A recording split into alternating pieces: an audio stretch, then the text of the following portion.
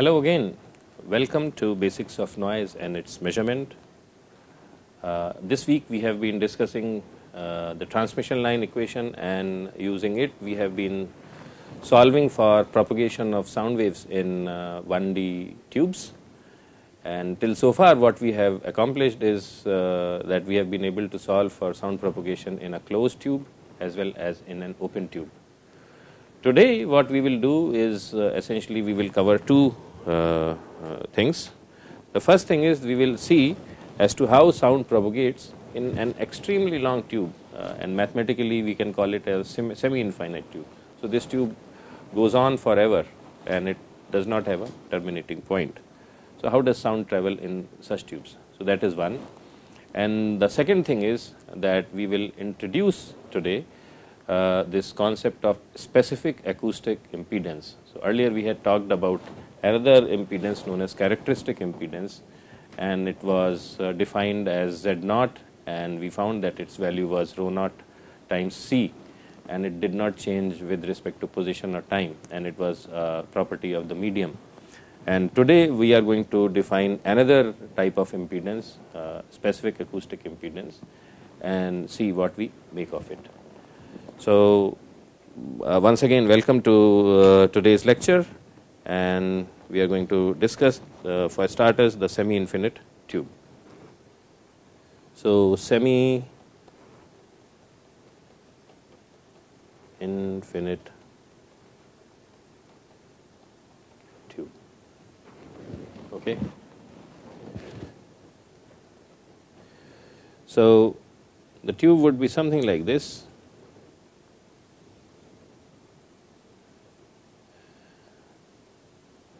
And what these terms, uh, these uh, symbols uh, designate is that the tube is keeping on going in the positive x direction forever. So, it does not terminate at any point. At the other end, so it has a fixed end at the other point. Okay. So, its length is infinite in positive direction, but it has a beginning. It has a beginning, but it has no end. So, that is why we call it as a semi infinite tube. And and at this end what we are doing so this is again exciting it using a piston so what we know is that so this is in this case uh, let us say x is equal to 0 okay so in this case this is my positive direction and the tube has infi uh, infinite length in the positive direction and at x is equal to 0 we know that the pressure is given by P at 0 t is given by some number 42 for instance cosine of 2 t plus pi over 6. So, when we write transmission line equations for uh, this the equations will be same. And as discussed earlier and as explained earlier in the case of uh, this uh, closed tube we would have four unknowns and two equations. And to solve for four unknowns we need two extra conditions. Now one condition we know is that at x is equal to 0 the pressure is this. So this is my first condition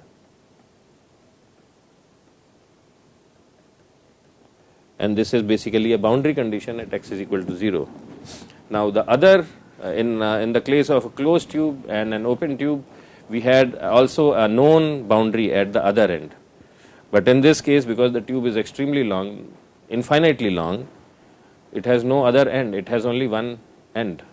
So, there is no other boundary condition. So, then what would be the second condition? Because without prescription of the second condition, we cannot find all the four unknowns because now we have only two transmission line equations. This is the third equation, but then what is the fourth uh, condition? And the fourth condition uh, we can infer based on the fact that the length of this tube is infinite. So, and then again you have to look at the physics of this problem. what is happening is that you have a piston at x equals 0 and it is producing sound and the sound is traveling and we have seen that the solutions for uh, pressure wave uh, could be that there is a wave propagating in the positive x direction and there could be a wave propagating in the negative x direction. Now, in this case physically because the tube is extremely long, uh, there is no wave propagating in the negative x direction because the sound it gets generated here and it just keeps on traveling and it does not hit a boundary to reflect back. In case of a closed tube or an open tube, there was a boundary and at that boundary the sound was getting reflected back. Here that reflection is not happening. So, that reality has to be now expressed as a mathematical relation and that will be that my P minus which represents the complex amplitude of the backward travelling wave that is equal to 0. So, this is my second condition and please note that this second condition is not a boundary condition, but it is the condition which reflects the reality of the fact that the length of the tube is infinite in positive x direction. So, these are the two conditions and with these two conditions we can now solve for P and U. So, once again I will write down the transmission line equation. So, P x t is equal to real of P plus E minus j omega x over c plus P minus E j omega x over c E j omega t and u of x t is equal to real of p plus e minus j omega x over c minus p minus e j omega x over c e j omega t times 1 over z naught. And because p minus is 0 so these are general equations but because p minus is 0 this thing goes away and this thing also goes away. Okay? Now with these p minus terms gone uh, these two equations represent uh, solution for semi infinite tube. Okay? Now we have two equations and we still have three unknowns p plus this function is unknown and u of x t is unknown. So we have two equations three unknowns. So the third so the third condition is this one and we will use this condition to eliminate and solve for all of these unknowns. So that's what we are going to do. So now what we do is we apply the boundary condition at x is equal to 0 and that is p of 0 t equals 42 cosine of 2t plus pi over 6 okay and this I can write it as real of 42 e j 2t plus pi over 6. So, now I apply this thing in the equation for pressure and what I get is P of 0 t is equal to real of 42 e j 2 t plus pi over 6 and that equals real of p plus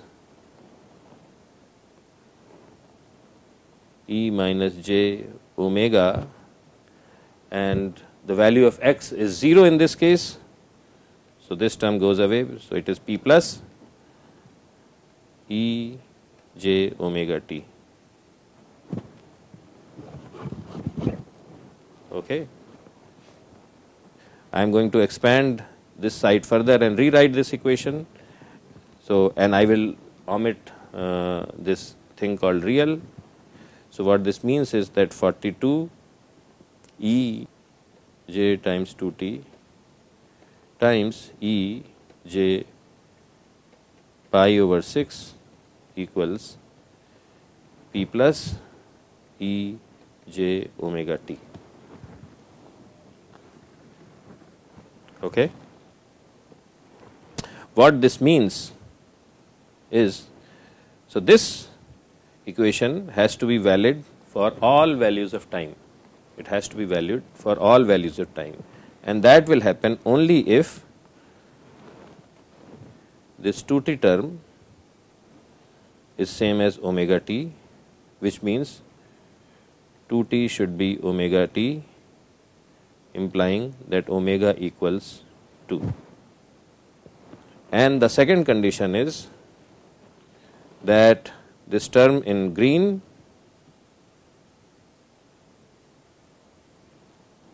should be equal to p plus. So, which means p plus equals 42 e to the power of j pi over 6. Okay. So, now we have a specific solution for semi infinite tube which is specific because it corresponds to this boundary condition. So, with this simplification my solution is P of x and t. So, what I do is I put these things back in the expression for pressure. So, P of x and t is equal to real of 42 e to the power of j pi over 6 because this thing is p plus right? Times e to the power of j omega x over c and omega will be 2. So, I am going to erase it. J times 2 x over c. I will make it clearer. Minus j times 2 x over c where 2 is the value of omega times e j times 2 t real of 42 e to the power of j 2t minus 2x over c plus pi over 6. So, the value of pressure is P of x and t equals 42 cosine of 2t minus 2x over c plus pi over 6. So, that is my pressure function. Okay? And similarly and similarly I can compute the value of u as a function of t because here the expression for u is given and all I have to do is substitute p plus by 42 e j pi over 6 and omega by 2 and I will get an expression for u also. So, that is the solution for a semi infinite tube. So, what are three, uh, what are the important characteristics for these tubes? That for a semi-infinite tube, the value of P negative, that is the complex amplitude of backward travelling wave is 0. For a closed tube, the value of U at the closed end is 0 and for an open tube, the value of P that is pressure at the open end is 0. So, if we apply these three conditions, then we should be able to solve for the pressure uh, and velocity for all these three tubes. So, at this stage I would like to introduce a new term and it is called specific acoustic impedance.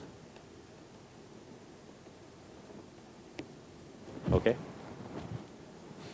and this is designated by term z and this is nothing but the ratio of complex pressure at any point in a tube. So, this definition of acoustic impedance right now is for one dimensional wave only.